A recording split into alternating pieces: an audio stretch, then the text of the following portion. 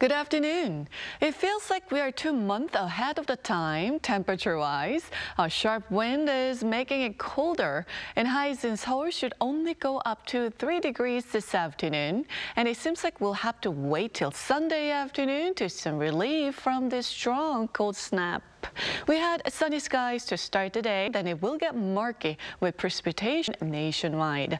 Seoul could see the first snow of this season, while mountainous regions in Jeju could see up to 15 centimeters of snow, and the rest of the country could see 1 to 5 centimeters of snowfall during the day, or 5 to 20 millimeters of rain in most places.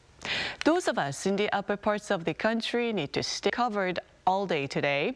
Chuncheon tops out at 4 degrees, Daejeon at 7 degrees this afternoon. But at least southern provinces should have highs in the teens this afternoon.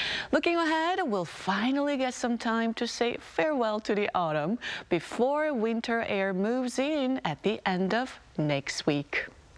That's Korea for you, and here's a look at the international weather conditions.